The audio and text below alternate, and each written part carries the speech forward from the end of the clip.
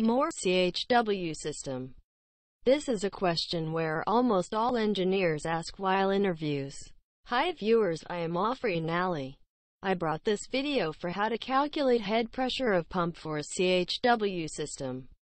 Kindly subscribe my channel. There are two types of head. Static head which is due to height difference. Second is dynamic head which is due to the losses while flow like losses in pipe due to friction bends and due to piping accessories like valves, coils, etc.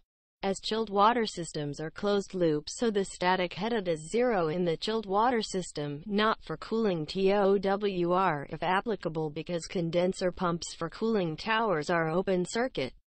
So the pressure for CHW system will be calculated by adding all the piping in the maximum pressure drop route and add friction losses, bending and coil losses losses in equipments etc. Thus adding all of them will give you the pressure head. Example two different pressures. All friction losses are for pump capacity sizing. Basically how much water the pump can pump.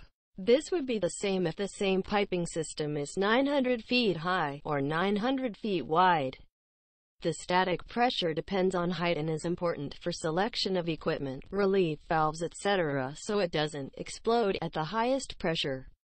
You need to imagine the hydrostatic pressure plus the pump pressure at data location.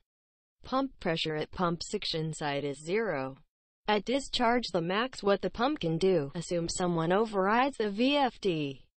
Consider gravity of fluid. For water every 2.3 feet you increase by one psi. This will be less for lighter fluids. More for denser fluids.